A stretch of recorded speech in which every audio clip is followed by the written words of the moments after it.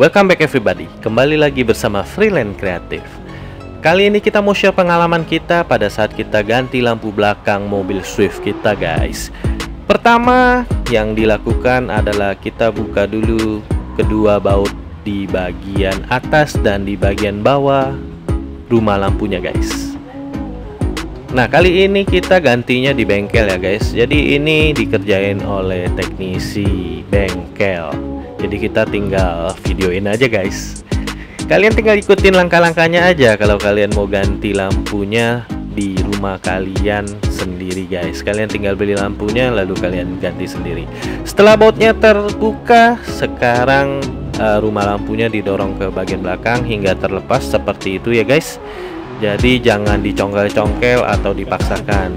Jangan sampai nanti lampu kalian patah atau bagian soketnya patah ya guys. Amit-amit ya guys kalau sampai patah. Oke setelah itu kita putar bagian uh, rumah lampunya.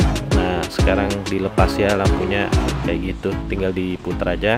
Nah ini nampaknya lampunya sudah terputus ya. Jadi ya memang sudah waktunya dibuang itu lampu dan kita ganti yang baru.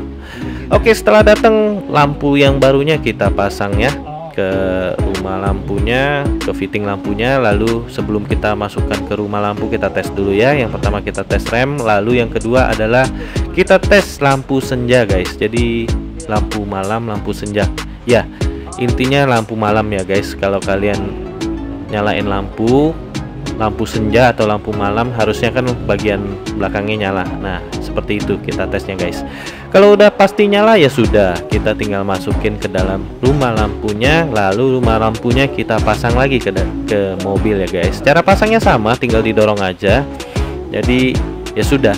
Kalau sudah terpasang begitu kita tinggal kencangkan kedua baut tersebut di bagian atas dan di bagian bawah. Jangan lupa dikencengin ya guys kalau nggak kenceng nanti malah hilang bautnya guys.